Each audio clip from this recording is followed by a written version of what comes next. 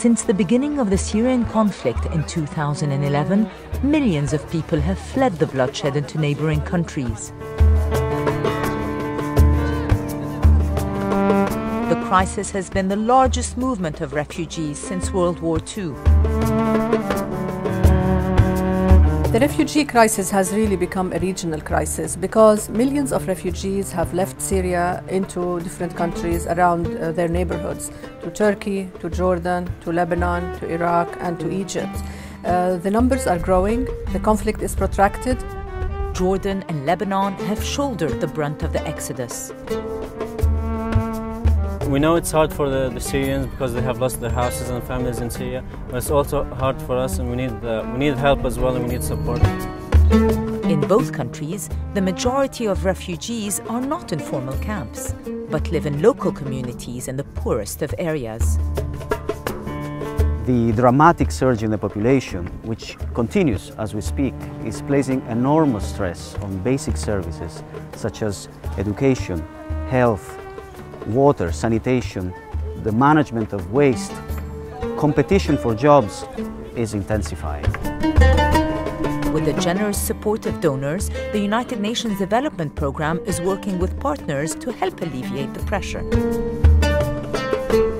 UNDP is helping to create jobs, is helping to improve uh, education systems there, helping the health services also, all kinds of activities that will ensure the livelihood support to both the host communities as well as the refugees who are being hosted there. One example is this farmers cooperative, which is increasing productivity in Akkar, the poorest region in Lebanon on the border of Syria.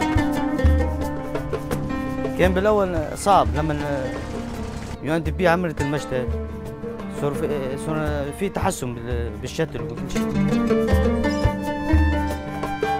UNDP supported programs are also addressing unemployment in host communities.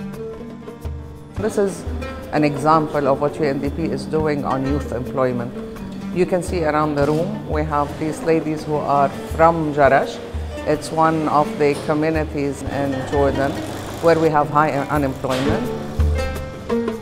Previously jobless 21-year-old An'am completed this training scheme and is now employed.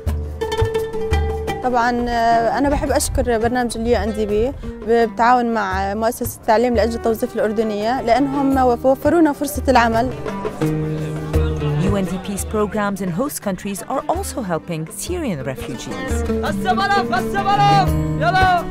وأنا ضربت هنيك بالسورة قصف ما قصف.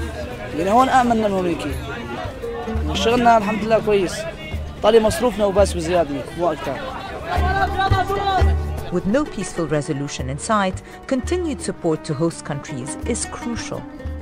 At UNDP, we have uh, championed this approach to bridge between the humanitarian and the developmental to ensure that any response uh, that is taken up by the international community is looking at the humanitarian needs, uh, supporting that, but at the same time looking long term at the development support needed to the governments and to the people Uh, of the countries hosted as well as to the refugees.